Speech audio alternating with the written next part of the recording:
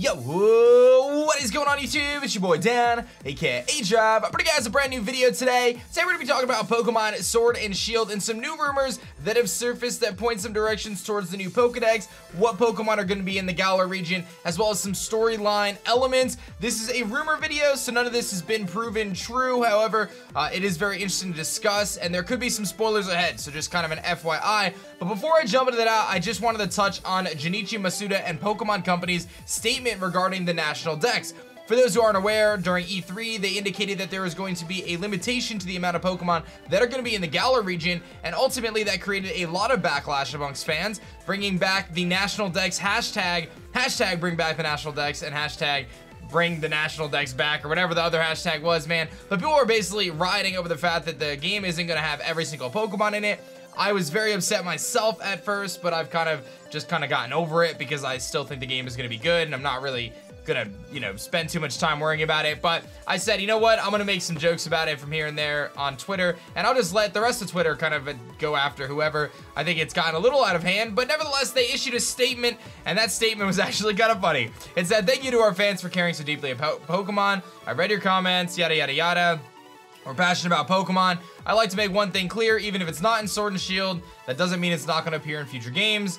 And they basically are to just, I'll just summarize for you. They're sticking to their guns. They are not to have every single Pokemon in Pokemon Sword and Shield. Now, my understanding is this is not that hard for them to do. Uh, a lot of the assets and everything are being reused, so it's not impossible. I don't necessarily chalk it up to a time restriction, although that could be part of it um, it may be a factor because I cannot delay the release of this game. Other games can be pushed back, but this is not a game that can get pushed back. Uh, you have to realize there's so many moving pieces with Pokemon, from the anime to the merch, the movies, the TCG, etc., etc. So they're not pushing it back. But anyway, uh, some pretty interesting stuff there. So they're going to hold their stance. They're going to stick to what they said. And my gut, when I originally, the first thing I thought of when I heard that they were limiting the dex was that there's a really good chance that we're to get Diamond Pearl Platinum Sinnoh remakes next year, and that will be the rest of the deck. So if this deck seems to be a little bit short of Gen 4 Pokemon, that may be a reason why. But anyway, I just wanted to talk about this. A lot of people have been asking me my thoughts on it. Kind of my thought is, honestly, at this point, there's no point in bringing your hashtags and all that stuff and rioting because they're not changing anything. If you don't want to get the game, don't get the game. If you're going to get the game anyway, like me, then we'll continue on with our lives. It is what it is. It stinks. I'm not saying it doesn't stink, and you're welcome to voice your opinions. But at this point, I don't think anything's to get done. The only way you can prove your real point that you really are against this is show with your wallet. Don't buy the game.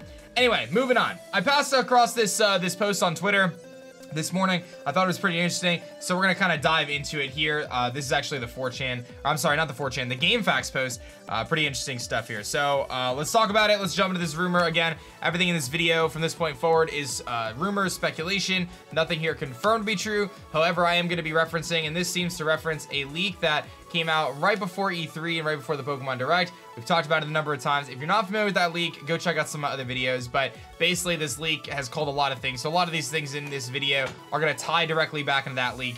So let's jump into it. Hit that like button, subscribe if you guys are new, and let's go. Let's do it. Let me know your thoughts on the National Dex thing, too. Let me know in the comments, because that's been a really hot topic. But anyway, here we go.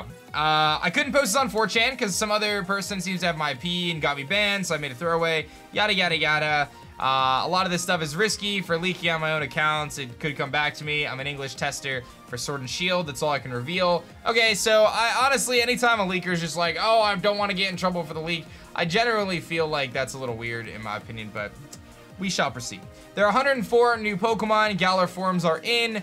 Like the other leak implied, Meowth and Sirfetch'd is actually a Galar form. Doesn't use that name, but the leaker may have called it that to paint a picture of its design. Its leek is treated more like a cane and it has a color swap, so this is saying that Sirfetch'd is a Galar form, not necessarily an evolution of Farfetch, um, and that it's got a little bit of a different design, so that kind of contradicts some other things we've talked about, but this time representation is scattered among all past region Pokemon, unlike with Alolan Pokemon just being Kanto. So this is saying if you guys remember the Alolan Pokemon, Alolan Exeggutor, Alolan Raichu, you know, Alolan Diglett, those are all Kanto Pokemon. This is now saying that there's going to be Galarian Pokemon or Galar forms, but they actually can be any generation. Alright, examples like the Gulpin line, they look more like sweets. The Dwebble line, they look more grassy and green. The majority of Kanto Pokemon are going to return though. There's going to be a strong representation from the other regions. Though less than Kanto. This is pretty believable. Um, this could also just be a guess, but this is very believable in the sense that obviously uh, Kanto is going to have a very big representation in this game because they always kind of cater to Kanto, and you might be like, I hate it. There's so much, but they got to make money, you know. They got to do what's going to be good for the game. So maybe not for the fans, but good for the game. So anyway, totaling uh, about 600 Pokemon.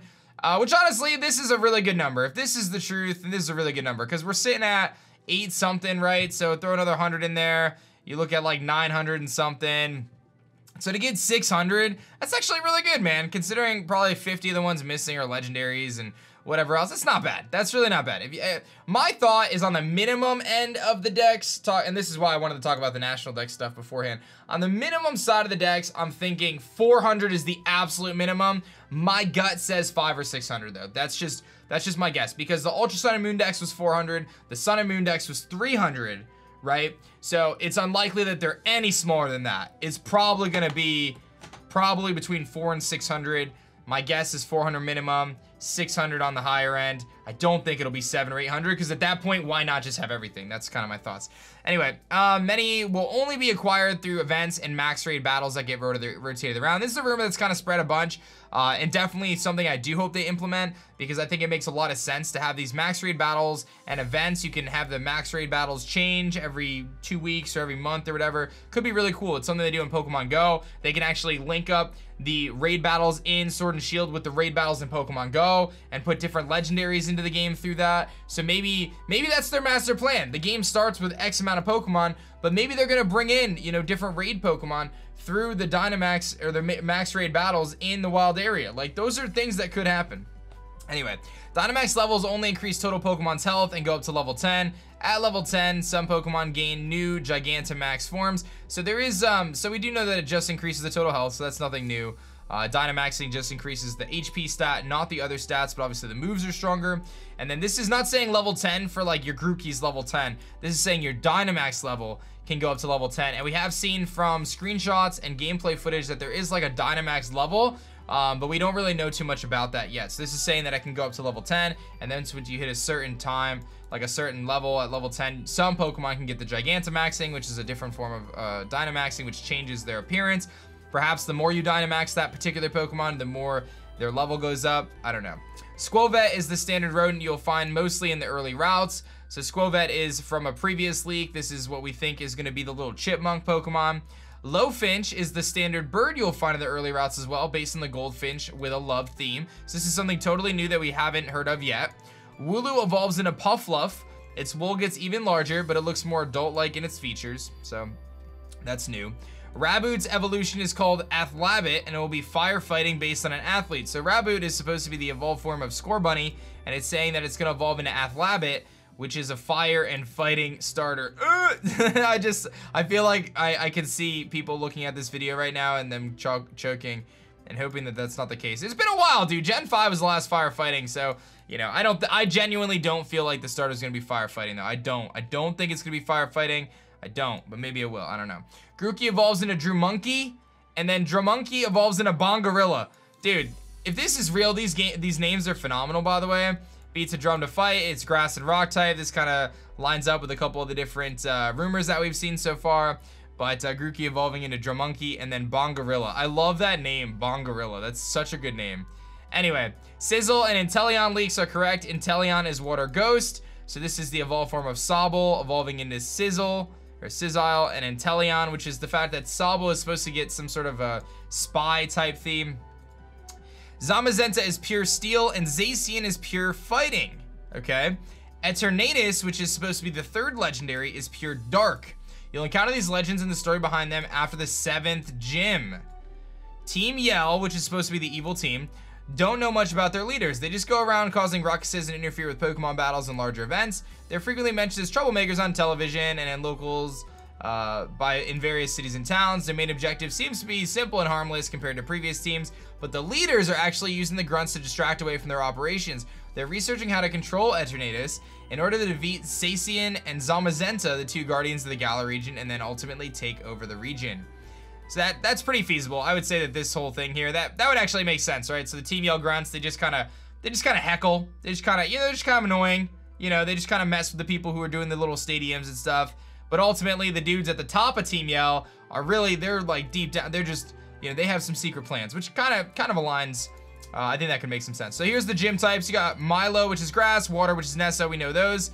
Kabu is ground, fairy uh, is opal, fighting is Penny, dark is Jora, steel is Darin, and normal is Lena. So this is saying that these are all the types for the gym leaders. Now we know about Milo and water and Nessa. Some of these names are coming from a different leak. Um, the one we talked about that we're assuming is true. The normal gym is directly in front of the Elite Four, but it isn't a public stadium like the other seven. The Elite Four, which is weird, by the way.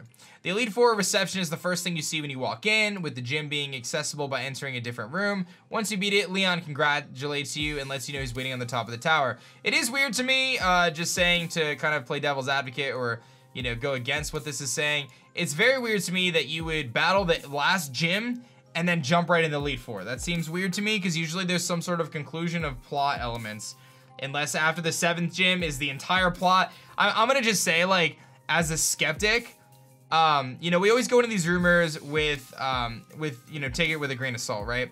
But to me, it's weird that you don't find the story until after the seventh gym, and then you're just gonna battle the eighth gym, and then, I mean, it's possible that the whole main story is tucked into that one little area, and it leads up through Team Yell, but that seems a little weird to me, but, you know, maybe I'm misunderstanding. The Elite Four system has changed to be more like the Battle Frontier. I could believe that. After clearing the normal gym, your badgering is completed and you're able to challenge the Elite Four by speaking to a receptionist in the previous room before you challenge Lena. Each member is in a different building with a different kind of challenge. You can challenge the first three in any order.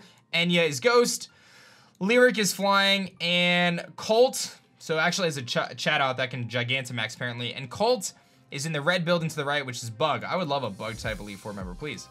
Then you can go back to the building that holds Lena's gym. There's a guard standing in front that leads you to a different tower. You get to the access to the base of the tower, which is the fourth member, Claude, which is Psychic. And then after you beat them, you can take the elevator to the top where you battle Leon, who has a Gigantamax form Charizard. Okay, so you can battle three of them in any order. Then you have to battle the fourth one, which is the Psychic one. And then you battle the champion, which is Leon. Becoming champion unlocks some of the cities surrounding the Elite Four. You can explore but it's not as big as it looks on the map. It's post-game content with uh, some battle facilities, markets, TMs, etc. More Pokemon will spawn in the wild area, I believe that. There's also a battle tower system uh, in the center of the map, in the industrial city. There's also a city for the seventh gym, which is Steel. Uh, however, it's locked before you can challenge it for a while. So I guess the seventh gym is in the middle, which is like that industrial city in the middle, uh, which I, I, I could believe. And then the wild area looks a lot better in the playtest build. They had to crunch for the most stable version for E3. The Notorious tree has better textures. I can't say any more. Posting this is already risky. So, that's that, man. That's the thoughts. My thoughts on this, man, is I feel like this dude took a lot of information from previous leaks and kind of came to this.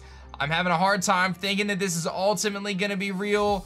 Um, but definitely some interesting stuff. I definitely thought it was worth talking about because there are some parts in here that make me say, okay, you know, like when I see stuff like this, this seems really like feasible. Um, but again, kind of ties into a lot of things we've seen before. So I'll pass the ball to you guys. What do you guys think? Let me know your thoughts in the comment section below. Real, fake, what do you want? But let me know your National Dex thoughts because I really wanted to talk about that, but I didn't want to dedicate a whole video to it. So that's that for me, guys. Hit that like button, subscribe if you guys are new, and I'll catch you guys on the next one.